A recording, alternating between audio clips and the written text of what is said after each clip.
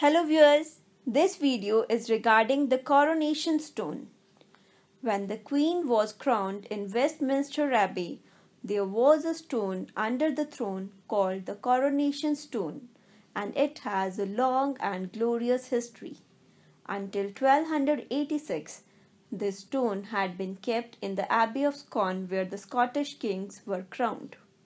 It had great significance in the coronation service for the king stood on the stone of destiny, as it was called, while the bishop, in God's name, placed the crown upon his head.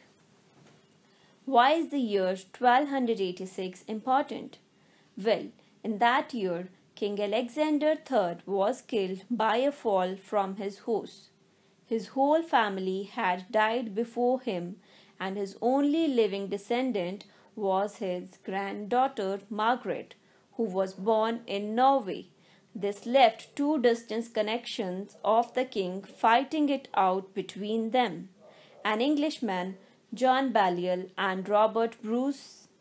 Edward I was King of England at the time, and he decided to intervene in the struggle for power by offering to act as guardian during Margaret's childhood and proposed that she should marry his son and unite the two kingdoms.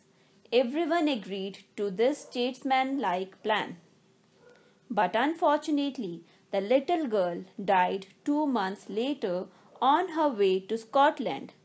Edward claimed to be overlord in Scotland and allowed John Balliol to be king.